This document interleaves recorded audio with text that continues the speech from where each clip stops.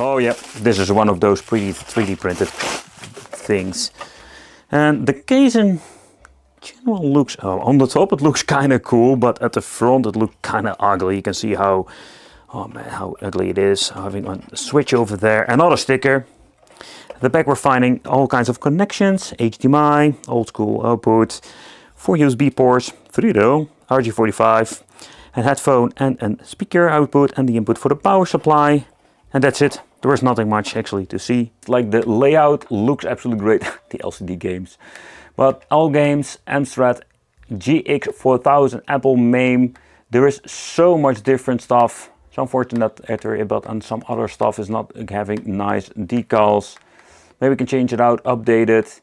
We have even some Windows games. So the image they are using is the Batocera version 38 at this point. So system settings, let's go in there. Information. So let's see what kind of hard drive, 500 gigabytes. And I know there are two terabytes or one terabyte out there. The model number is the ETX N100 chip, so that is quite promising because the in Intel N100 is a very good overall new generation chip. And in the end, so much better than the crap that we've seen before. 8 gigabytes on total RAM, temperature is 32 Celsius, let's say idle, and the reason I think it's absolutely cool because with the onboard Intel graphics, we're going to be having some interesting things we can do with this. But the N100 is not like an ultimate powerhouse like an AMD Ryzen. It's, in, it's actually like way better than most, like say, really old crap they're using in these mini PCs now. The thing that is really appealing about the N100 chipset is that we can actually play some N64 without any problem whatsoever. Yeah, so the N64 is such a problematic emulator for low-end chips and we have tried this on so many different boxes now. However, this is not going to be a problem when it comes to Cruis'n the USA, the ultimate test for actually playing some games. But I also wanted to check out some other games and also do a little bit of an upscaling because this is one of those systems where we can actually do upscaling and I think makes N64 look so much better, particularly if you're going to be using this mini PC on a bigger screen. I think it's one of the very convenient things of emulation that we have like overall better performance or at least better overall graphical performance than the original system or you need to have like those very expensive modifications been done where you have internal resolution upscaling because it is possible on original hardware but it's just freaking expensive. However, let's get into some different game because this runs just fine. So we're getting into the N64 advanced game options. So when you're going to be going into the video options in here, for example, the advanced option, we can sometimes do a little bit of an upscaling.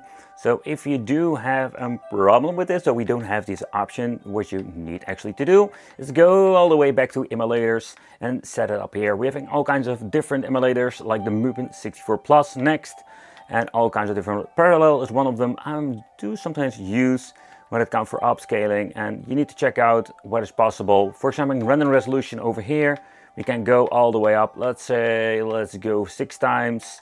We can do some crazy stuff all the way to 80 times. I'm not going to be doing that. But let's say we're going to be trying to boost it up from 9020 by 4040 and see how that actually runs. Okay, so we're going to be saving that and let's boot it up.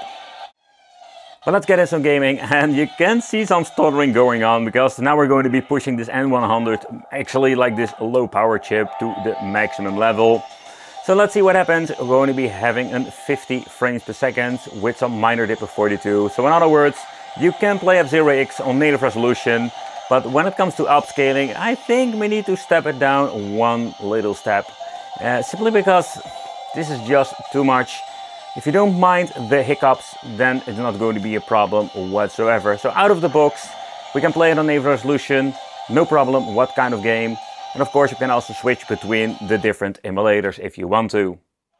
But let's move into some GameCube and we're going to be upscaling to the 720p. I don't want to do 1080p because that is going to be way too much.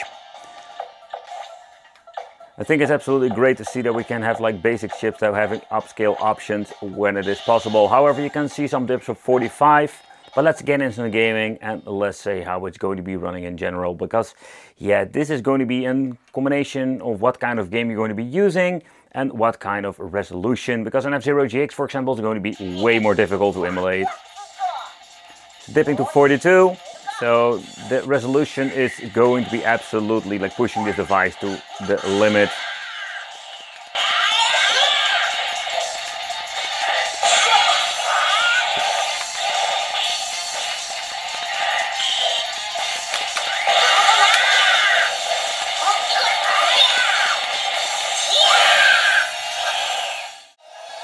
So let's start off with some arcade stuff. Atomiswave, but this time 720p emulation performance.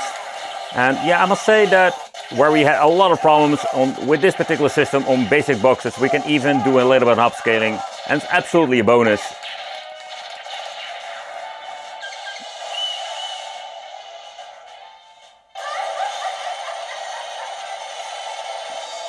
But let's get into the part where we're going to be having a lot of stuff going on and you can see it runs without a lot of problems.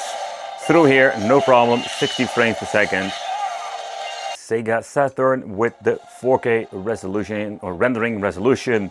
And the reason why I wanted to check this, I can already see that it struggles here and there because I've been doing all kinds of tests with Batocera on older like PCs like the AMD Ryzen, a very cheap one I picked up for I think it was like 90 freaking dollars. And I had like an amazing overall 4K rendering resolution support. And I think that's to do because AMD Ryzen and their internal GPU is absolutely amazing. And when the N100 is significantly improved from the older models it's still not enough for having 4K rendering resolution with Sega Saturn. Now using YabaSanshiro but maybe can tweak some little bit of, let's say, different emulators, but out of the box with Yamaha Zero, no, this is not the way how you want to experience the Sega Saturn games. I have never had this great of an experience with Sonic Racing, you know? Normally I just suck at this game. I'm even the second place, Let's see me go, woohoo! Going to be beating Knuckles. Come on, come on, there we go. Come on! I find it very interesting to see how responsive this freaking joystick is of this horrible fake Xbox controller because it's really horrible compared with the original system or original controller. Okay. Yeah, I think I officially messed it up now. Yep, yep, third place. Yep, I messed it up. Urgh, there we go. The next system in line is the Sega Dreamcast. I'm just going to be putting it at 1080p resolution. You did notice that the 4K rendering resolution of the Sega Saturn was not a good thing. The unfortunate, I don't have a frame per second counter, it doesn't being enabled. But let's boot it up if I can even drive with this freaking thing. Oh, there we go. No, no, no, there we go. I can hear that it struggles on 1080p. And of course it will be depending what kind of game you're going to be playing.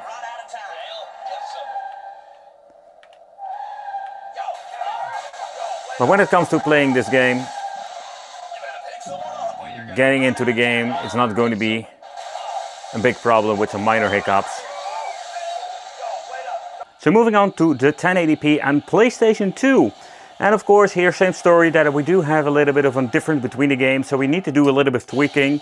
We don't have enough power to say like hey we're going to be rendering everything on 1080p or 4K or 2K resolution. So it's going to be different per game, but with this particular one, it seems to be working just fine. I just wanted to start off with a two-dimensional one.